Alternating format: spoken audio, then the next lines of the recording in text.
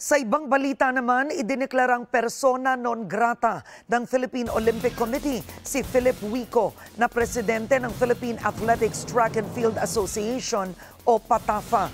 Kasunod ito ng ginawang bintang ni Wico na pineke ni Olympic pole vaulter Ernest John E.J. Obiena ang kanyang liquidation report at hindi umano niya binayaran ang kanyang Ukrainian coach. Base sa investigasyon ng Ethics Committee ng POC, harassment ang ginawa ni Huico kay Obiena.